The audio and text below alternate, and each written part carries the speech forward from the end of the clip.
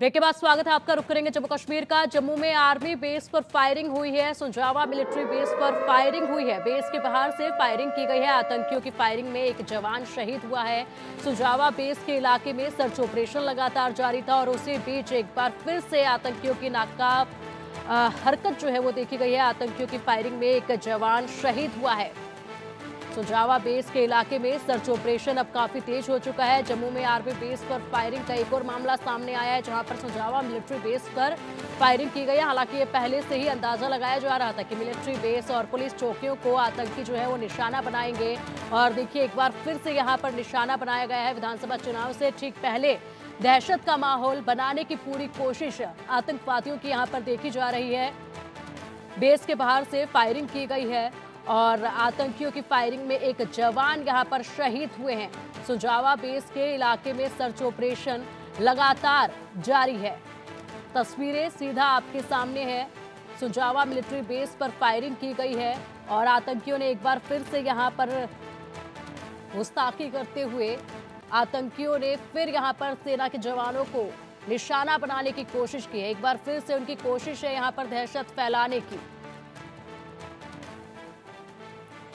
Base के बाहर से फायरिंग की गई।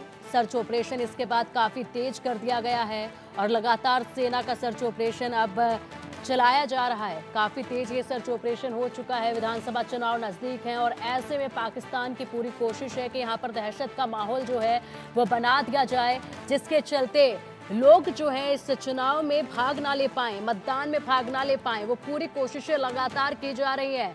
एक एक कर यहाँ पर इनके इरादों को ध्वस्त जो है सेना बल द्वारा किया जा रहा है। सुजावा मिलिट्री बेस को अब इन्होंने निशाना बनाया है। पहले से ही ये अंदाज़ा लगाया जा रहा था कि यहाँ पर मिलिट्री बेस या फिर पुलिस चौकियों को निशाना बनाया जा सकता है और उसी तरीके से ये लोग इन्हीं को निशाना बनाते लगातार नज़र आ रहे हैं। अधिक अपडेट के लिए हमारे सहयोगी अजय हमारे साथ जुड़ गए हैं। अजय सुंजावा बेस को निशाना बनाया है। आतंकियों ने एक जवान शहीद हो गए हैं। देखिए, बिल्कुल जो ताज़ा जानकारी है, उसके मुताबिक जो जवान जख्मी हुए थे वो जो हैं, जख्मों की ताप ना सहते हुए उनकी शहादत हुई है। मगर अभी भी अब आपको बता दूँ कि ऑपरेशन जो है, वो लगातार यहाँ पे चल रहा है। ये जो इलाका है, इस पूरे इलाके में इस पर इस पर बैरिकेटिंग करके रखी गई है। आप सामने अगर देखेंगे तो वो सेना की जो चौकियाँ हैं, इन सभी चौकियों को जो है, यहाँ पर जवानों को अलर्ट किया गया है। दरअसल सुबह दस बजे का वक्त था जब ये वाक़ हुआ है। आप अगर आप देखेंगे सामने जो सेना का गेट है इसी के ठीक ऊपर जो है एक संतरी था और उस संतरी पर जो है अचानक से फायरिंग की गई और फायरिंग करके जो है उसको निशाना बनाया गया। ये जो इलाका है इस इलाके की अगर बात की जाए तो ये इलाका जो है रिहायशी इलाके से सा, आ, साथ जो है वो जुड़ा हुआ है। ऐसे में कहीं ना कहीं चुनौतियाँ इस चीज़ को लेकर कि आखिरकार ये आतंकी यहाँ कहाँ से पहुँचे अगर इन्होंने फायरिंग की उसके बाद ये कहाँ गए? इन सभी चीज़ों को लेकर जो है इस वक्त तलाशी अभियान चल रहा है लगातार। पुलिस सेना से सीआरपीएफ जो है आ, वो यहाँ पर डटी हुई है। मैं यहाँ से आपको एक तस्वीर दिखाने के प्रयास करता हूँ क्योंकि ये जो आसपास के इलाके हैं जो आसपास के घर हैं इन सभी घरों में जो है वो इस वक्त तलाशी अभियान चल रहे हैं। सर्चिज जो हैं वो चलाई जा रही हैं और इस चीज़ को सुनिश्चित किया जा रहा है कि अगर आ, कोई भी संदिग्ध यहाँ पे हो आतंकी यहाँ छुपा हो तो उसको जल्द से जल्द मार गिराया जा सके। दरअसल ये जो इलाका है ये सारा का आ, सारा इलाका जो है वो शहर के साथ सटा हुआ है। ऐसे में इस चीज़ को लेकर इस चीज़ को लेकर कहीं ना कहीं जो है चिंताएँ हैं। कि आखिरकार ये आतंकी जब यहाँ पहुँचे कहाँ से आए कहाँ आ गए इन चीज़ों को लेकर अभी जो है वो कहीं ना कहीं जाँच जो है वो जारी है। और अब इस चीज़ को लेकर जो है यहाँ पर एक बड़ा तलाशी अभियान चल रहा है जिसमें भारतीय सेना जम्मू कश्मीर पुलिस और सीआरपीएफ के कई जो जवान हैं, उनकी जो है वो तैनाती की गई है।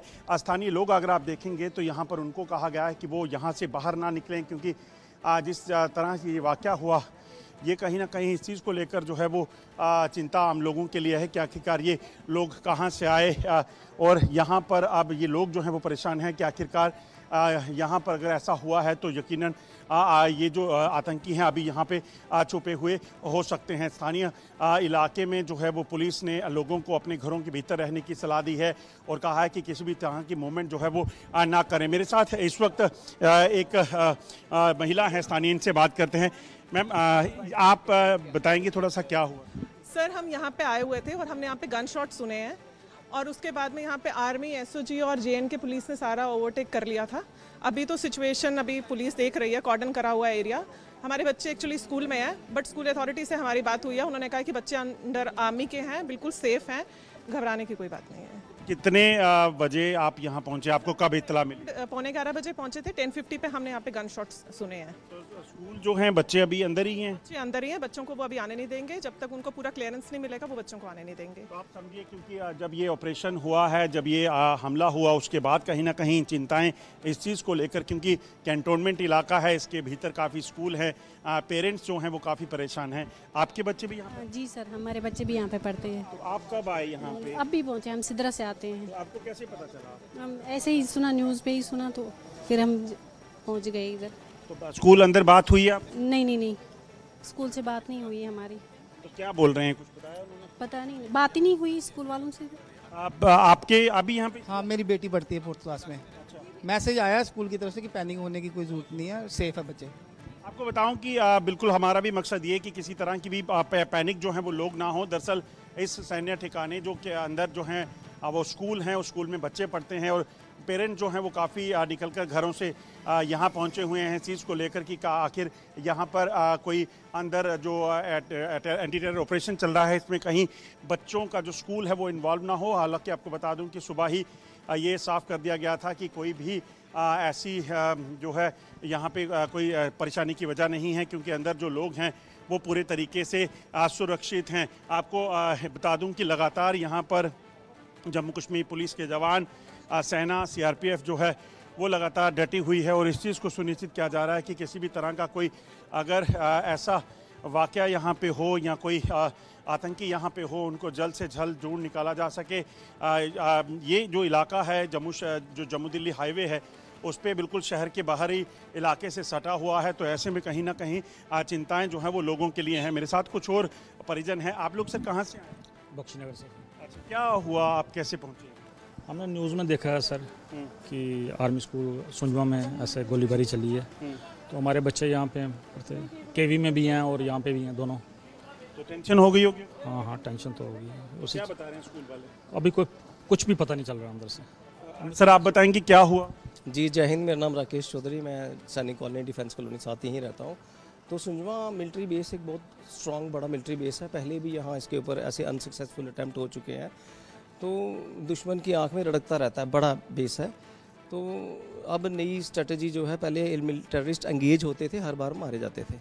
अब वो एंगेज नहीं होते स्ट्रेटजी चेंज की है वो फायर करके क्या था? नुकसान करके भाग जाते हैं। जैसा ही यहाँ सुबह जवान क्रिटिकली इंजर्ड था तो वो उसके बाद से फिर पैनिक हो गया। फायर की आवाज़ आई तो तकरीबन सभी अलर्ट मोड पे हैं अभी। तो बाकी इसके बाद उनको क्या कहा गया?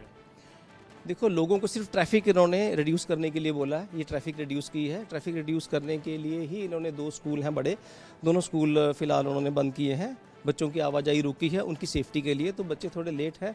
But whenever there is a green signal definitely they come out safely ऐसा बताया गया। स्कूल की तरफ़ से बताया गया है कि बच्चे पूरी तरह से सुरक्षित हैं। हालाँकि आपको बता दूँ कि जो सेना ठिकान सेना का ठिकाना है वहाँ पर लगातार इस वक्त तलाशी अभियान जो है वो चल रहे हैं। पूरे आ, सेना के कैंटोनमेंट के अंदर आ, और बाहर जो है यहाँ पर इस वक्त तलाशी अभियान चल रहे हैं। और मकसद बड़ा साफ़ है कि ये जो ठिकाना है सेना का इस पर अगर आतंकी अंदर घुसपैठ करने के में कामयाब हुए हैं तो उनको पहले मार गिराया जा सके। हालाँकि सुबह दस बजे जब फायरिंग हुई दो बुलेट शॉट जो है वो सुने गए, जिसमें एक सेना का जवान जो है उनके ज़ख्मी होने की खबर थी। उसके बाद किसी तरह की फायरिंग नहीं हुई है, जो अंदेशा लगाया जा रहा है कि आतंकियों ने शायद यहाँ से फायरिंग की जवान को ज़ख्मी किया और उसके बाद वो यहाँ से फरार हो गया। मगर अब पूरे इलाके की तलाश की जा में तलाशी अभियान शुरू किया गया है। सीसीटीवी फुटेज जो है वो खंगाली जा रही हैं ताकि जल्द से जल्द इन छुपे हुए आतंकियों का पता लगाया जा सके।